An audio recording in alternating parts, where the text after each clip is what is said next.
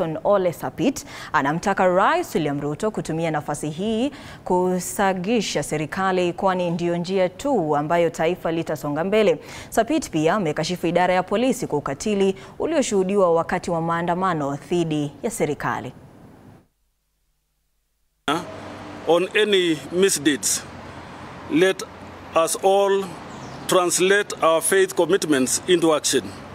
As a church, we commit to uphold accountability and defend the pulpit from abuse or misuse of all kinds. Dear Kenyans, based on our discussions and reflection, we would like to make the following prayers and this call to the nation. We commend the young people and support their clamor for accountability, good governance, and equal access to opportunities and delivery of services. Standing with them, we say no to a culture of impunity, corruption, continuous violence, tribalism, poor services, delivery, uh, especially on essential sectors like health, education, and agriculture.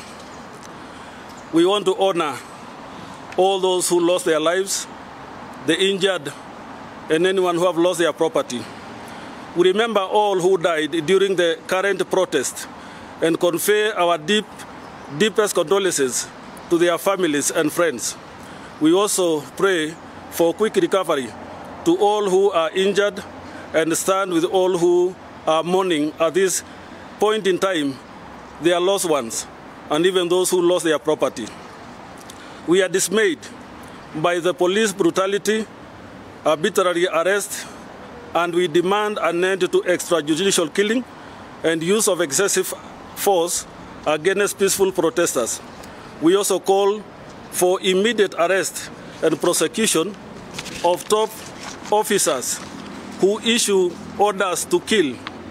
The rule of law must apply across board and to all who have done anything wrong against uh, any Kenyan.